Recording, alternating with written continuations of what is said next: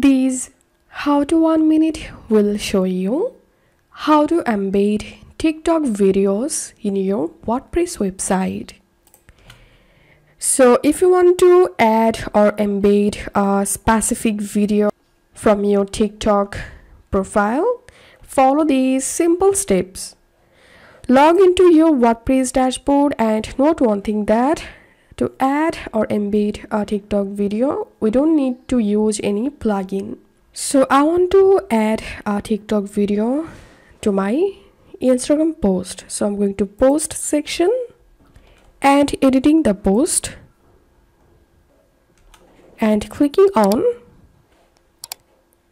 add block and searching here TikTok click on TikTok now all you have to need just enter here the TikTok video link or URL click on embed.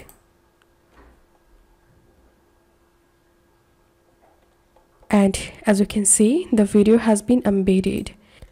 Now clicking on update view post.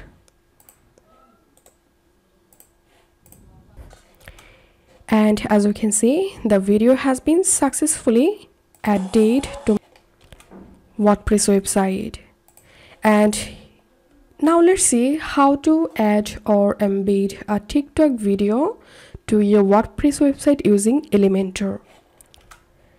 So i'm going to clicking on edit with elementor.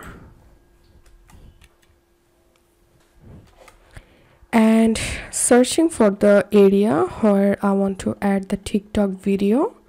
For example i want to add here. So i'm clicking on this plus icon and selecting this structure. And now clicking on this plus icon. And here simply selecting the text editor. And here I'm going to pasting my TikTok video URL clicking on update. And now I'm going to visiting my website and scrolling down and here as you can see the TikTok video has been successfully embedded so that's how we can embed or add a TikTok video to WordPress website.